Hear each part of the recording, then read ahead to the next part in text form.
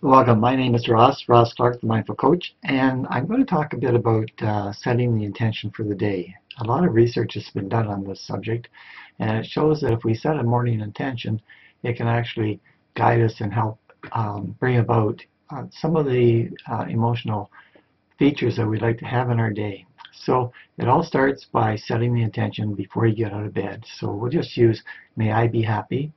Then throughout the day, just repeat that intention, may I be happy.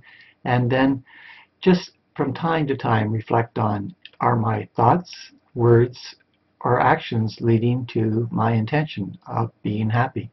And so it is just to be done in a gentle way. Uh, it may or may not happen. But if by setting the intention, we are actually taking more control in our day and increasing the chances for happiness. So thank you for your interest in uh,